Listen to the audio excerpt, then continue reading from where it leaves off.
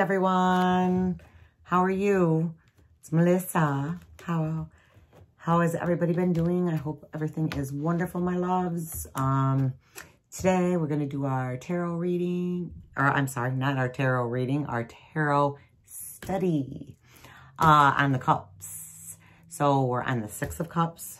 Um, the Six of Cups. I love this card. I think it is just adorable.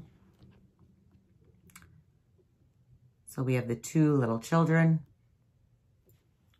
The one is offering the other one some flowers.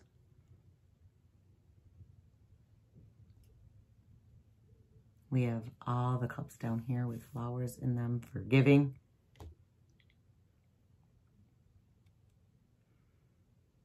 Again, cups is always associated with water, is our element.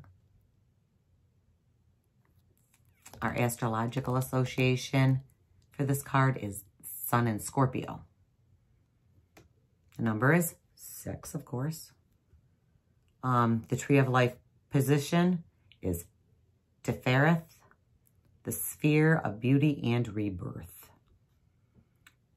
My glasses are like, Okay, key meaning is harmony, childhood, reconciliation, and old friends. Understanding the six. The two figures on this card look odd.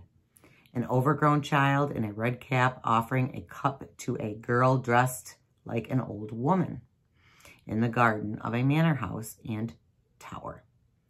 One cup stands on a stone podium with a heraldic shield, while four cups stand upright before them.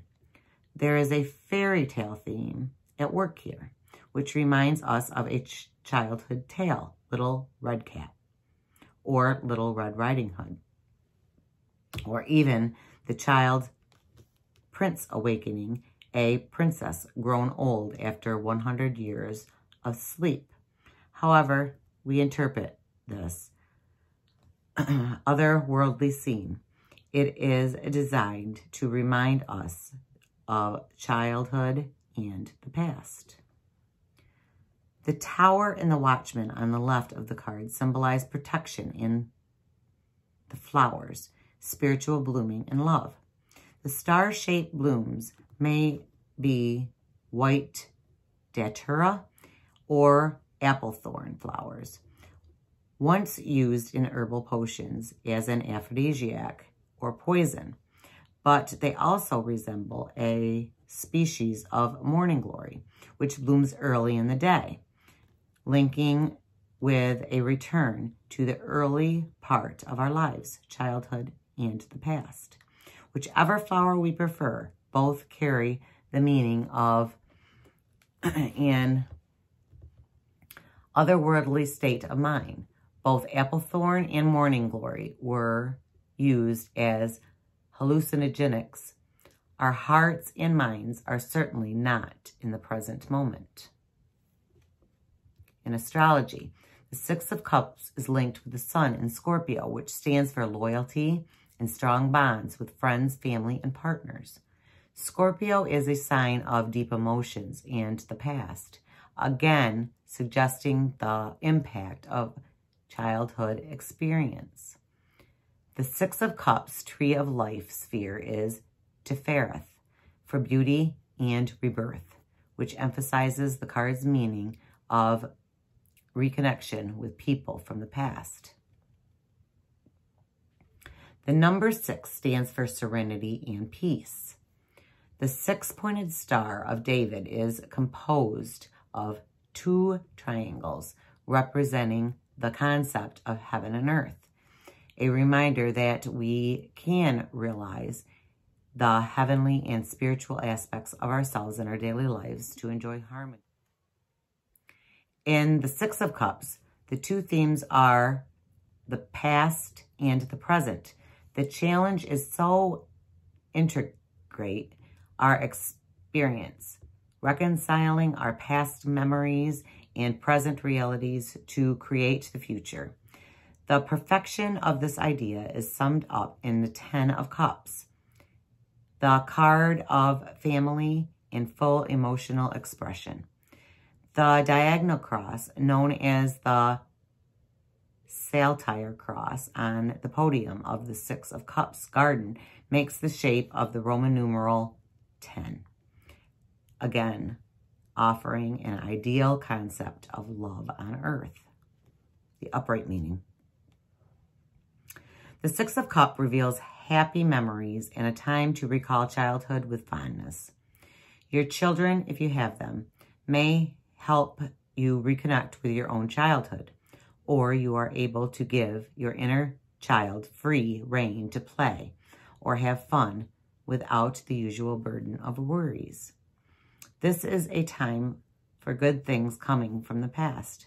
Reunion parties, reconnecting with old friends, and more distant members, or literally going back to your roots.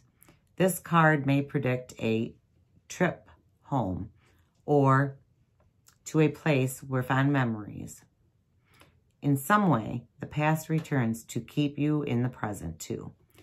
A, as conversations and reminiscing with old friends or contacts seed your new ideas or approach. Overall, you will find balance in relationships and enjoy a period of peace and harmony. This Six of Cups also shows compassion and kindness. So if you are suffering poor treatment, your situation is set to improve. Sweet, happy times are ahead, and any disruptions or upsets will be soothed and remedied. In love, an old flame comes back, and you need to weigh up it if it is worth going back to the relationship. The reverse meaning. When the cups is reversed, nostalgia rules, and you may recall past events with more positivity than they deserve. The card also shows you feeling locked in the past as a way of avoiding moving on. A particular relationship needs to stay in the past rather than be revived. Unexpected visitors or communications may stir up old memories. And if so, the memories rest. These people have no place in your future just now. Okay. So it's talking about our childhood, um, nostalgia, reminiscing, reconciliation, uh, old friends coming back, um, offerings, givings. It's all of the things I see in this card. Okay, so let's go back to the Radiant Rider-Waite. Let's see what the Six of Cups says in this one. Okay. All right. You want to recapture better times of the past. Nostalgia consumes you and you desire to return to the good old days. A need for simplicity and country life may be calling to you. New love, relationships, and friendships are on the horizon. You seek the beauty in simple pleasures. Children and causes that support children development are very important. You're considering volunteering work or contrib contributing to a nonprofit organization. You are a sweet, influential in your community. So things to think about. Uh, how can I beautify my world more? How can I positively contribute to my community? How can I allow the good times in the past to color my future? How can I give more value to the children in my life? The Six of Cups says, It's been said, you can never go home again. In a sense, this is true, but you can take the treasures of the past and savor them in the present. Sharing memories with friends and family can recapture better days. Taking an active, positive role in the community is a very helpful way to honor old-fashioned values. Relinquish the company of children is a reminder of youthful joy. Giving and sharing beauty with the world opens the heart so beauty can flow back to you. So the core meaning. Uh, you find yourself reminiscing, feeling wistful about the past. You want to simplify your life. Service to others and volunteer work is a keen interest. Beautifying your environment is a priority. Children bring joy and innocence to your life and love. Thinking about a past love brings sweet memories. You desire to recapture youthful romance. In money, fundraising and charity become prime interests for you. Consider donating money to a worthy nonprofit organization in the community. Career. Career is focused on giving back and helping people. You work in a positive influence with far-reaching effects. In family. Memories of family members in the past have you longing for how things were. Appreciating the good times gives you a chance to employ more beauty and simplicity in family today. Children are a source of delight and remind you to play more. So if the card's reversed, um, the core meaning is lack of abundance has you feeling pinched and bitter. You are stinging with your resources. You have forgotten that giving a little kindness to others can go a long way to brighten your world. You are living in the past and refuse to move forward. Uh, quick meanings for love, for the reverse. Uh, your expectations are too high.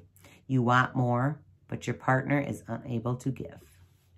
In money, your finances are meager, and you are looking at old-fashioned ways to save money. Sewing, gardening, and reusing old materials are helpful.